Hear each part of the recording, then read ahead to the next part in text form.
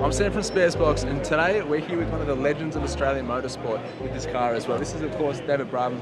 Thanks for joining us today, mate. Thanks, Sam. Now, this green machine behind us is one of the most hyped up and talked about cars here at the 2019 Bathurst 12 Hour and in Australian motorsport news to date. This is, of course, the Brabham BT62. Now, it is an absolute machine, and it's in a class of its own here at the 2019 12 Hour.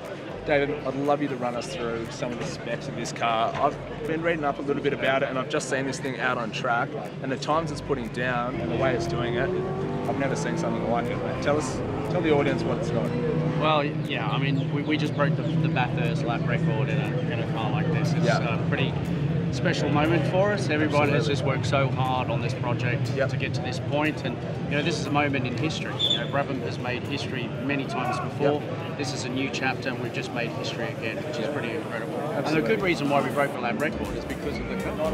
You know, it's light. It's, it's, it's under a ton. It's Yep. 972 kilos Incredible. dry weight, 700 horsepower the Yep. Brabham 5.4 litre. Yep. 1200 kilos of downforce. Michelin slicks.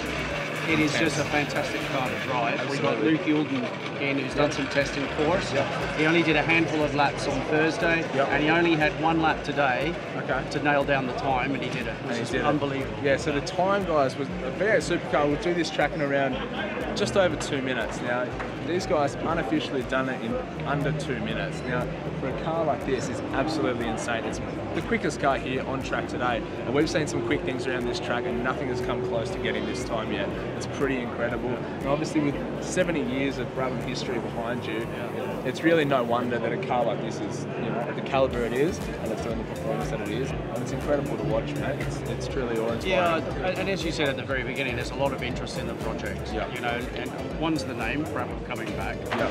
Two, this is Australian made. Absolutely. You know, so you know to have a product like this that can take on the world. Yeah.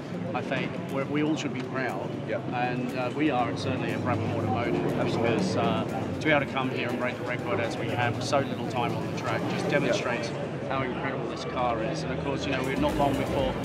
you know, It was about a month ago we launched our, our dream to get to Le Mans in 2021 and 22 to go racing, bring, bring Brabham back to the tracks.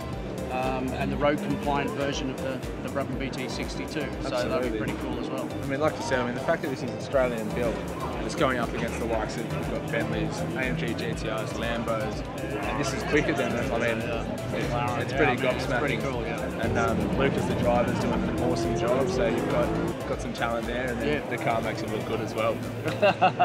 he, he, he got out of the car and he said the problem with this car is you don't really want to drive anything.